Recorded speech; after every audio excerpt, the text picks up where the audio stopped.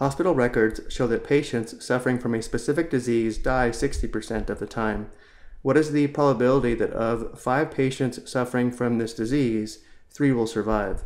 This is an example of a binormal distribution, where a binormal distribution is a discrete probability distribution in which 1. The experiment consists of n independent trials, 2. Each trial has two outcomes, success or failure, and 3 the probability of success is little p, which remains constant for each trial. For a binormal distribution, the probability of having r successes is equal to n choose r times p raised to the power of r times the quantity 1 minus p raised to the power of n minus r. For our situation, p will represent the probability of survival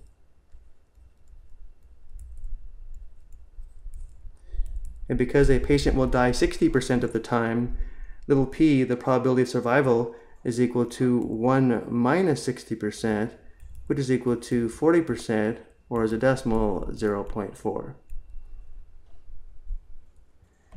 And because we are selecting five patients, and the number of independent trials is 5, and because we are trying to determine the probability that three patients will survive, r, the number of successes, is equal to 3.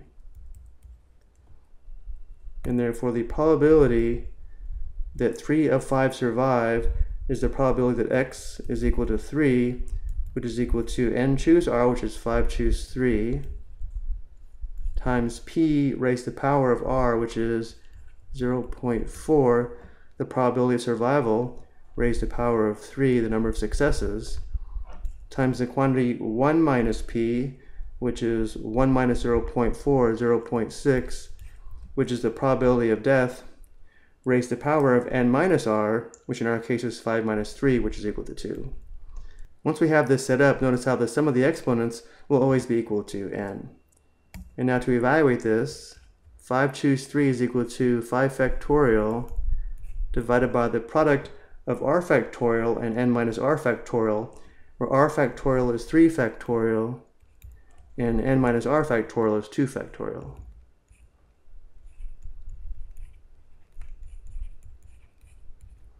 Now let's go ahead and evaluate this quotient. 5 factorial is equal to 5 times 4 times 3 times 2 times 1, which is 3 factorial. So let's write this as 5 times 4 times 3 factorial divided by the product of 3 factorial and 2 factorial. And then we have times 0.4 to the third times 0.6 squared. Simplifying here, 3 factorial divided by itself simplifies to 1. 5 times 4 is 20. 2 factorial is 2 times 1 or 2. 20 divided by 2 is equal to 10, giving us 10 times 0.4 to the third times 0.6 squared. And now we go to the calculator. 10 times 0.4 cubed times 0.6 squared is equal to 0.2304,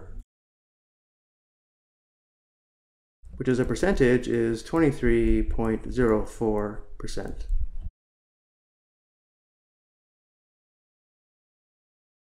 The probability that of five patients suffering from this disease, three will survive is 23.04%. I hope you found this helpful.